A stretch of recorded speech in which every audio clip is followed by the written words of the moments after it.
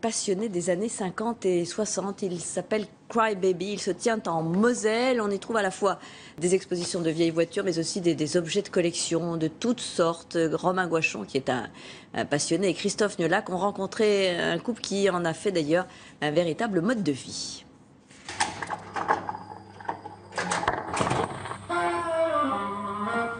C'est un voyage dans le temps un temps que les moins de 20 ans n'ont pas connu. Et pourtant, ils sont quelques passionnés nés bien après les années 50 à vivre un rêve américain. Depuis 4 ans, un festival rassemble ses amateurs et leurs voitures de collection au nom de légendes. Buick, Cadillac, Lincoln ou Pontiac. Dans leur pare-choc rutilant se reflète un passé reconstitué, détail après détail, par les plus fins connaisseurs. Il y a vraiment de la décoration pour... Euh, pour donner un, charme à l'endroit. C'est finalement un garage qui aurait pu se trouver sur une, sur une route euh, dans l'Amérique des années 50. Et pour certains, comme Sylvain et Laurence, c'est même un mode de vie. Dans une petite commune de Moselle, leur maison est un hommage à cette Amérique des 50s. Tout ici est affaire de précision. Chaque objet est d'origine, dans le style de ceux qui décoraient l'intérieur d'une famille américaine de la classe moyenne.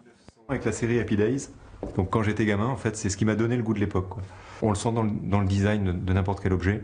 Il y a vraiment, euh, c'est pas une époque de crise. C'est une époque effectivement où il y a de l'espoir, où il y a, où, euh, on croit en le futur d'ailleurs.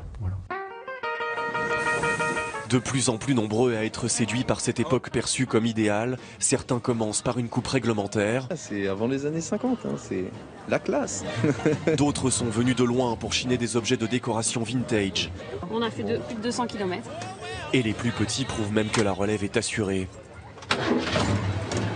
Un peu précoce peut-être. Et le soir venu, voiture garée et enfants couchés, la musique s'empare des festivaliers pour une nuit consacrée au rock'n'roll. Et c'est la fin de, ce journal. Je vous retrouve dans un petit instant pour votre magazine, reportage et naturellement à 20h pour le journal. A tout de suite.